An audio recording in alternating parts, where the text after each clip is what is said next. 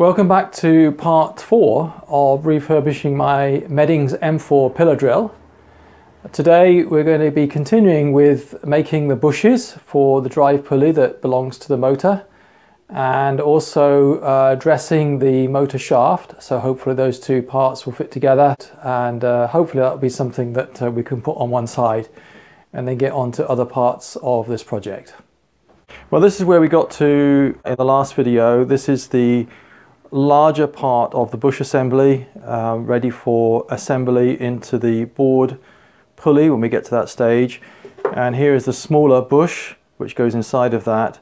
Uh, the reason I made it in two parts was actually just to save material. I could have made the whole thing out of a big chunk like that, but I wanted to save material, so I thought this was an easier way.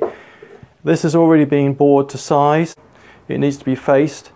And uh, whilst it's easy to hold like this, it would be um, good to put the keyway in on the shaping machine uh, that was also part of my logic in making this in two parts. It's easier to hold it um, as a smaller component like this. So before we get to that, uh, I want to look at the motor shaft. Since it's not too difficult to split an induction motor like this while it's on the bench, I've done that and removed the rotor, set it up in the lathe with tailstock support so that I can uh, dress the damaged portion of the shaft uh, carefully and to size. Well, I was a bit concerned about the uh, whether the center is actually true with the shaft.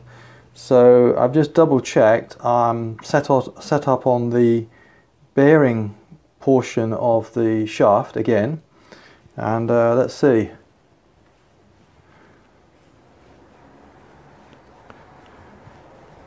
Wow, that doesn't look too bad to me. That looks like barely half a thou. Uh, I was thinking about whether I need to just double check the center to make sure it's not damaged, but I don't think I'm going to improve on that. So I think I have confidence to go ahead and continue dressing the damaged portion of the shaft. I'll go very carefully because I don't want to take it under size.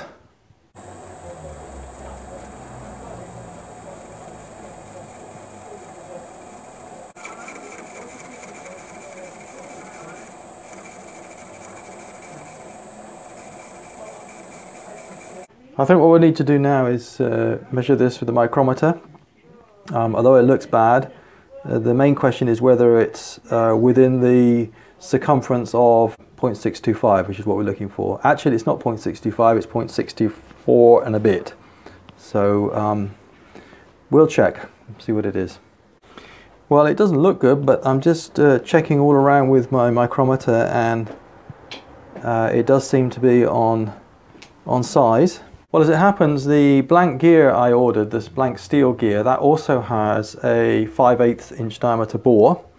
Um, I hope that's a standard size, uh, to standard tolerance. So we'll, what we'll do is we'll just see if that fits on, and then we'll know we are reasonably close to size if it does.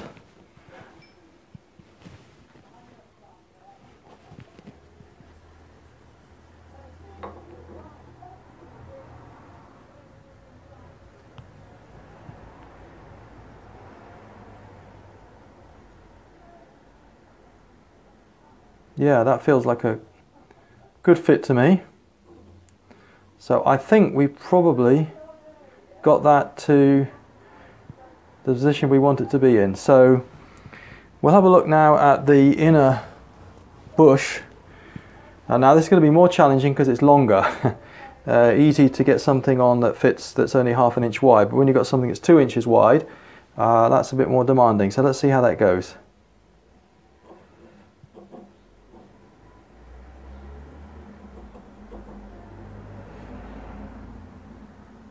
Yeah, that feels all right to me. I think, I think we're there. So uh, I think we'll stop there and the next thing to do is to put the keyway in the bush. I'm just going to finish this job off by regenerating the chamfer on the end of the shaft, just make it look a little bit better than uh, leaving it um, with those burrs on.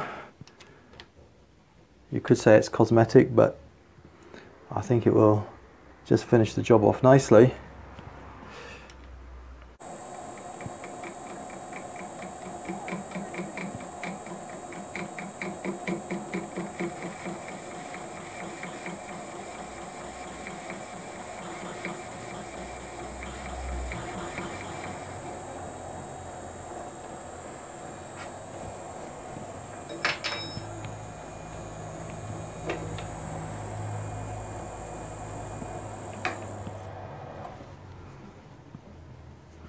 I think that's as good as we're going to get. While we've got this set up in the lathe and I've got my lathe on the running on the higher speed setting, I thought it would be a good idea just to check the centrifugal switch for the starter uh, coil uh, just to see if that's working. So we'll uh, ramp the speed up and see if the centrifugal switch operates.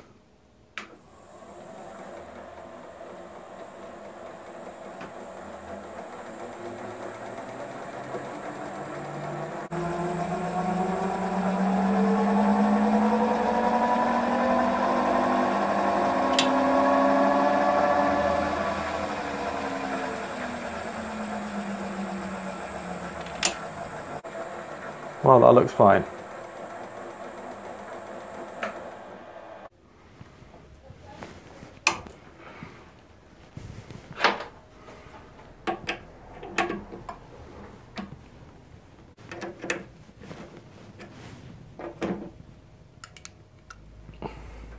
Just to show you that I did protect the end, at the other end of the shaft.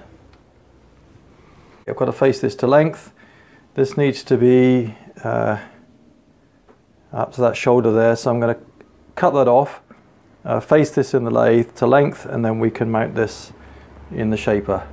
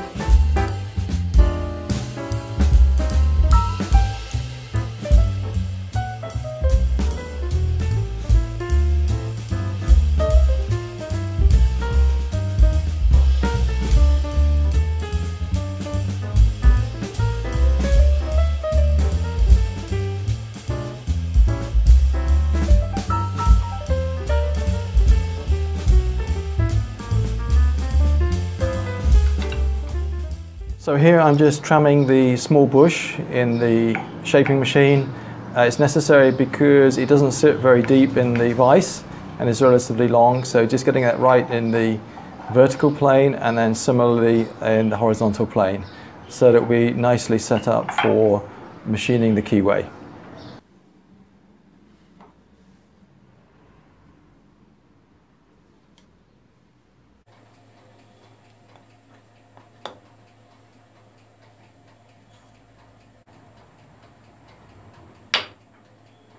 Next thing I need to do is uh, find the edge of the bush.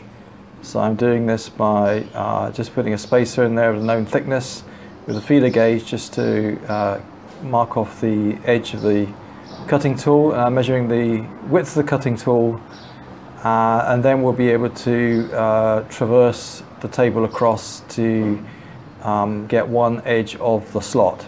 The, the cutting tool is actually narrower than the slot so I'm going to have to take a couple of passes to get the full width, but I think you can get the picture. And of course I'm measuring the outside diameter as well, a little bit of arithmetic and we'll know how far to traverse it. Unfortunately my clock uh, only has half inch of travel, so I had to take it in two bites to get the necessary uh, distance.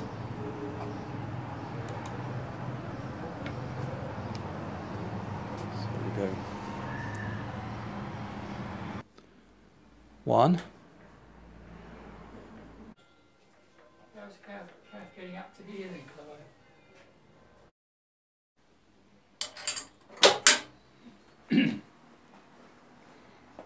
This.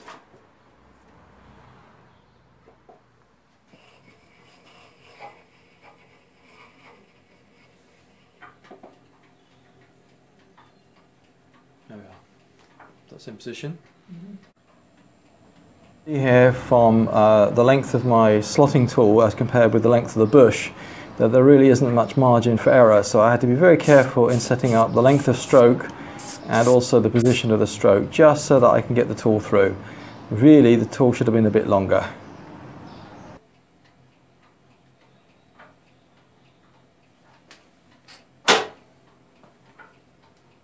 I have to admit in the past when I've used my shaper to produce uh, keyways I've usually just relied on the scratch marks to get the center line and to be confident that I'm running down the center of the bore.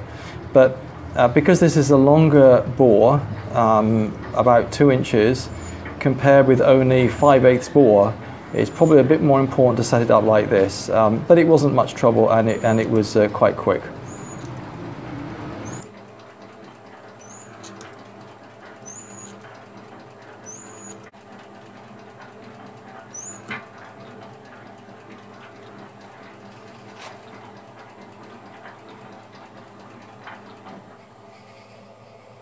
Okay, having cut uh, the first slot, the next thing to do is move the table across by the difference between the width of the slot and the width of the actual cutting tool.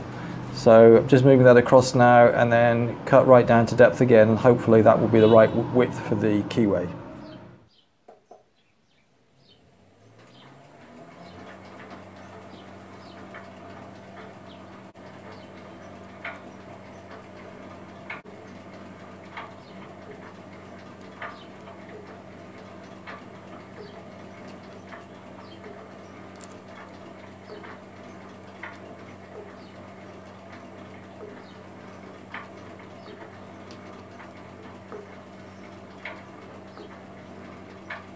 I've set the pulley up in the four jaw chuck again just to dress up um, a couple of the grooves, setting it over to uh, the correct angle for the V-belt. I'm also going to tidy up the lower face of the pulley. Uh, that's probably cosmetic, uh, but um, the grooves aren't, they've been damaged. Somebody's hit them with a hammer, so I'm just tidying those up.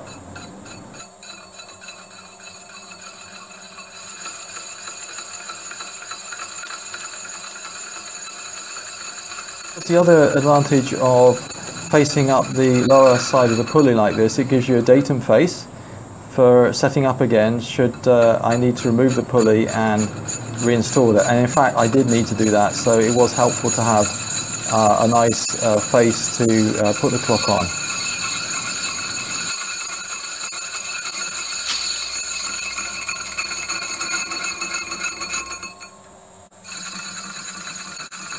And as usual, we add a couple of chamfers, an external chamfer, and then uh, finally an internal one just to finish the job off nicely.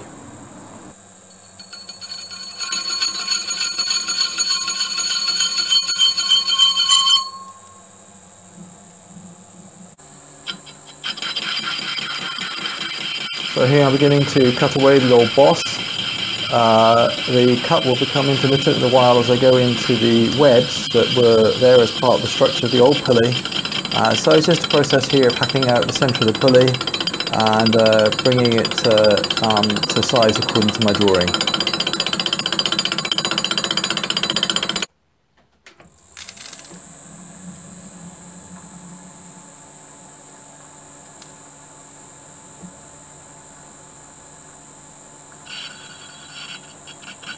Fitting the large bush to the inside of the pulley wasn't as easy as it looked. Uh, in the end I had to just uh, um, counterbore very slightly to get a trial size so that I could um, uh, be confident that uh, I wasn't going to overbore it. But uh, eventually I managed to get there and it was a nice fit, seated on the perimeter and also the inner face there.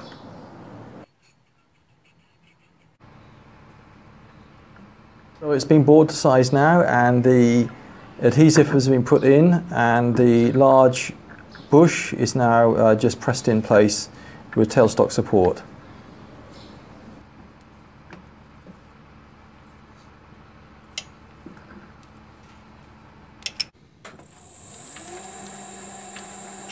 out the larger bush now, ready to receive the smaller bush. Uh, the dimensions um, or rather the fit, uh, proved to be a little more of a challenge than I anticipated. I think that has to do with the materials I'm using. So you'll hear a little bit more about that in my comments at the end of the video.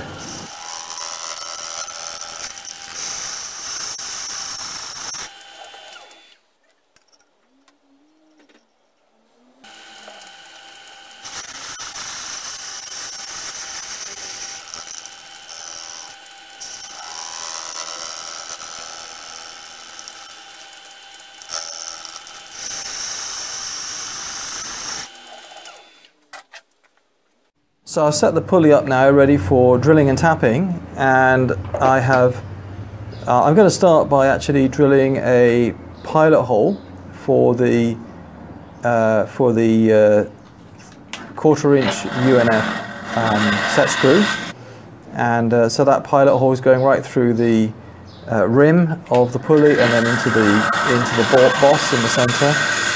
Uh, what I'm going to do then is open up that, that um, hole to be a clearance for the tap.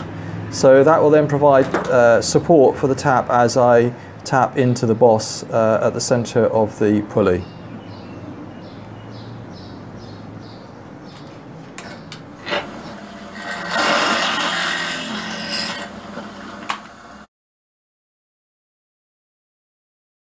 Tapping was a little bit tricky. I had to use a BA spanner to uh, grip the to grip the tap, uh, just sufficient height there above the rim of the pulley. But uh, it was successful and we got the job done.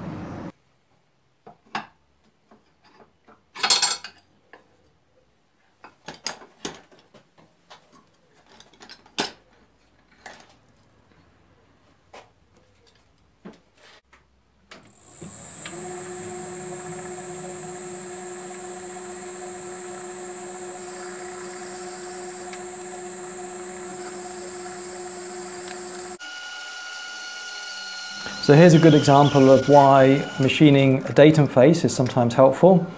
It uh, enabled me to clock the pulley up in the four-jaw chuck, ready for uh, reducing the um, inner bush to form a boss for the pulley uh, to enable it to um, fit up snugly against the shoulder on the motor shaft. Things have not worked out as I expected. The first big lesson in this is make it out of a solid piece of aluminium. Don't try to bush aluminium against aluminium. It uh, cold welds together and uh, can be very awkward. So that's lesson number one. Uh, lesson number two is to, if you produced uh, an assembly drawing, make sure you have it with you uh, I tried to do this without the assembly drawing and I bored this smaller bore too far and it basically uh, cut off the flange of the smaller pulley. So there we are, that's a big mistake on my part. Um, I will be pushing this again, would you believe, to, uh, to uh, reclaim this, um, this lost part.